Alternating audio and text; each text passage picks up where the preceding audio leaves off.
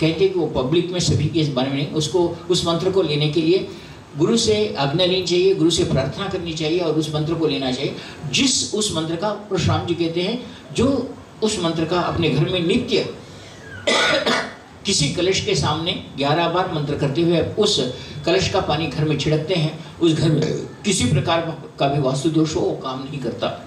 समय आने पर मैं बताऊँगा कि वो कौन सा मंत्र था जो परशुराम जी ने अगस्त महर्षि को कहा। आप इसी बारे में आप आपको बहुत बार ये भी कहता हूँ कि परशुराम जी ने ये भी बताया कि हम मंदिर बांधते हैं तो मंदिर किस तरह बांधना चाहिए? मंदिर का या देवताओं का आह्वान किस तरह कहना चाहिए? देवताओं के मंदिर के लिए कौन से पत्थर का उपयोग करना चाहिए कि मंदिर में हम देवताओं के बांधने के लिए कौन सा उन्होंने इसके बारे में बहुत सारी चीज़ें अपने कही कि और कहा कि जिस पत्थर पर हम अगर अभिषेक का पानी डालते हैं या पर पंचामृत डालते हैं, उसमें जो पंचामृत हो और वो पहली बार अगर उसमें लीन हो जाता है ना उसमें मिल जाता है, उसमें मर्ज हो जाता है, उस पत्थर को आप अभिषेक के लिए उपयोग करो। हमने तो देखा आज तक कोई भी पंचामृत या पानी पत्थर में रीस हो जाए, लीन हो जाए, ऐसा हो नहीं सकता। लेकिन उन्होंने कहा कि ऐसा होता है। ऐसा होता है और उन्होंने उस पत्थर के बारे में कहा, वो पत्थर कहाँ मिलता है? ये भी पंचरात्र में लिखा हुआ है और वैखांश में इसका नारद पांचरात्र में भी कहा गया है और वैखांश में हनुमान जी ने भी इस वास्तु को कहा है। अब आप देखते हैं, वास्तु, हम हनुमान जी के मूर्ति को कहीं भी जाते हैं तो अरे दक्षिण मुखी हनुमान है क्या? बहुत पावरफुल है। दक्षिण मुखी हनुमान पावरफुल है का मतलब क्या है? क्यों उनके लिए पूर्व का पूर्व का नहीं बाँध सकते। ये ऐसा क्यों कहा गया है? माता काली को दक्षिण की तरफ़ ही मुख करके क्यों बांधा जाता है? तो ये किस देवता को किस प्रकार मूर्ति करते हुए बांधना है? और क्या वो जो मंदिर बने हुए अब बहुत सारे हम ये भी देखते हैं, हनुमान जी के मंदिर गाँव में। वो वैसा ही पड़ा, पेड़ के नीचे पड़ा हुआ रहता है, उसकी पूजा नहीं होती। कभी कभी कोई ऐसा ही हो तो ऐरा गहरा कर जाता है। बहुत सारे शिवलिंग ऐसे जंगल में पड़े जिसकी पूजा नहीं होती। कारण क्या है? तो उन्होंने कहते हैं कि दक्षिण में जितने भी शिवलिंग तुमने बांधे हम उत्तर की तरफ़ साधारणतः पानवट को दिखाए कि उत्तर की तरफ़ करते हैं, उसके ऊपर पानवट से पानी जाए। लेकिन परशुराम जी कहते हैं कि दक्षिण में अगर तुम शिवलिंग बांधते हो तो उसका पश्चिम या दक्षिण में पानी जाना चाहिए। वो शिवलिंग श्रेष्ठ है। मैंने फिर इसके बारे में बहुत सारे, बहुत बार देखा कि ऐसा श्रेष्ठ मंदिर इतने कहाँ है। आप कभी जाओ तो श्री कालाहस्ती का मंदिर देखो। आप श्रीशैल मल्लिकार्जुन का मंदिर देखो। और आप देखो, इस संसार में रामेश्वर जो अगस्त महर्षि ने स्वयं रामचंद्र जी के हाथ से रावण को मारने के लिए जिस शिवलिंग को लाकर रामेश्वर में स्थापना की थी, उस शिवलिंग का पानवट किधर है? मैं यूँ ही नहीं कह रहा हूँ, तुम्हें उस कल्पसूत्र में देखने के बाद महर्षि अगस्त का कहा हुआ कह रहा हूँ। कि उनका मान पानवट कहाँ है? हम कहाँ हैं? अब आप रोज कहते हैं गुरु जी आपने कहा हम उत्तर को शिव जी की पूजा करें हम उतने महान क्यों नहीं हुए जो महान होना है? रावण को मारना कोई मामूली बात नहीं थी। राम तो मानव थे। और रामेश्वर में रामेश्वर में, रामेश्वर के शिवलिंग को स्थापना स्वयं अगस्त महर्षि ने की थी। रामचंद्र जी को देकर और रामचंद्र जी को कहा था कि जब तक तू कुल देवता की पूजा नहीं करता, तब तक तुझे तो रावण को जीत नहीं सकता। तो राम ने पूछा कि कुल देवता मेरे तो रघुवंशी मैं हूँ सूर्यवंशी हूँ। सूर्य मेरे कुल देवता है। तो पहली बार महर्षि अगस्त ने राम को आदित्य हृदय स्त्रोत्र को दिया और कहा कि तू इसका पाठ करके रावण के लिए युद्ध को जाओ। और हर नित्य उन्होंने पहली बार आदित्य हृदय स्त्रोत्र का पाठ देते हुए आगे बढ़ा। इसके बाद बहुत दिन आए गए हुए महर्षि अगस्त्य और जी, इसके बाद में परशुराम जी, कर्ण, ये परशुराम जी के पास कर्ण हुए। अपने भीष्म ये सब परशुराम जी के शिष्य कहलाते हैं, ये हुए।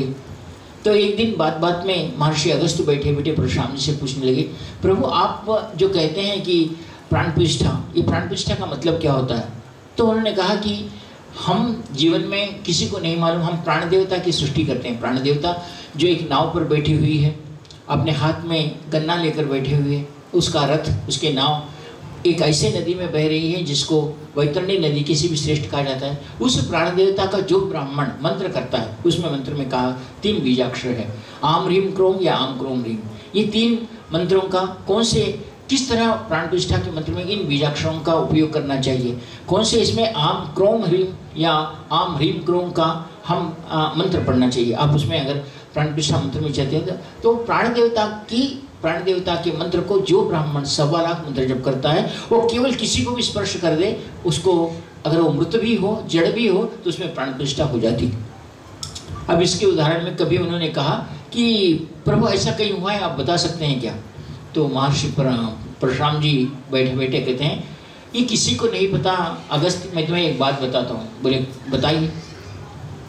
तो उन्होंने कहा कि द्रोणाचार्य के पास, द्रोणाचार्य पांडुनंदन और कौरवों को, दोनों को सारी विद्याएँ सिखा रहे थे उनके कुलगुरु थे, विद्या सिखा रहे थे। और वो अर्जुन के प्रति धनुष विद्या में बहुत श्रेष्ठ थे। अर्जुन को धनु का धनुर्विद्या का श्रेष्ठ शिष्य बनाना चाहते थे। ये उनकी इच्छा थी कि अर्जुन के प्रति उनका, उनकी निष्ठा थी।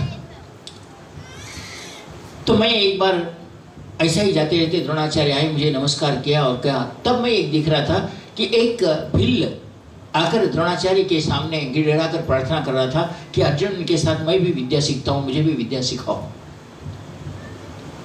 द्रोणाचार्य ने कहा, तुझे अधिकार नहीं है मेरे पास विद्या सीखने का, तू यहाँ से चला जा। उस समय कहते हैं कि परशुराम जी वहाँ थे। वो भिल्ल बहुत ही रोते हुए आँखों में आँसू ला लेकर जा रहा था, चले जा रहा था। थोड़ी देर के बाद परशुराम जी गए, भी गए और उन्होंने जब परशुराम जी को देखा तो परशुराम जी को दया आई कि भिल्ल क्या है। तो उस भिल्ल को पूछकर उसने कहा कि तू क्यों रो रहा है? कहा कि मैंने द्रोणाचार्य जी के पास जाकर यह विद्या सीखना चाह रहा था, धनुर्विद्या सीखना चाह रहा था, लेकिन उन्होंने मेरे तिरस्कार के रूप में मुझे बाहर हटा दिया। तो उन्होंने कहा, मैं तुम्हें बोलता हूँ। नहीं प्रभु, मैं एक बात कहता हूँ। दिए तो मुझे द्रोणाचार्य ही विद्या दें, नहीं तो मैं किसी गुरु के पास विद्या नहीं सीखना चाहता।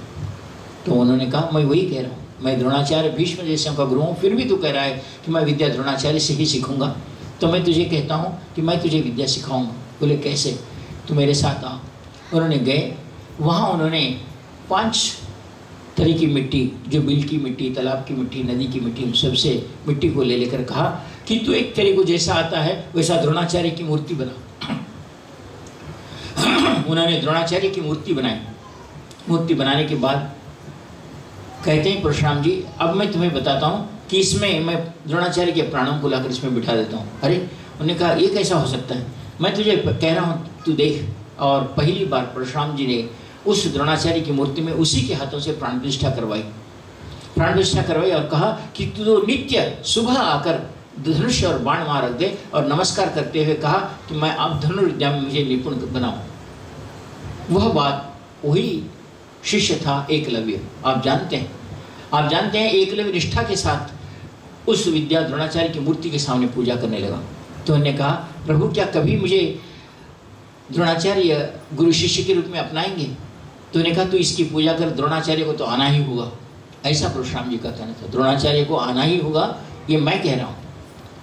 एकलव्य को एकलव्य की संतोष प्रसन्नता की बात नहीं रही। उसने रोज नित्य जैसा पूजा करता था उस मूर्ति में और वो नित्य प्रार्थना करते हुए धनुर्विद्या सीखता था।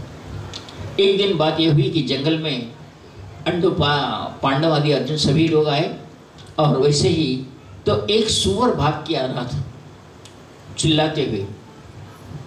तो उन्होंने देखा कि अर्जुन को द्रोणाचार्य ने कहा कोई सुअर आ रहा है तो उसको भेज दे नहीं तो अपने ऊपर आके आके गिरेगा।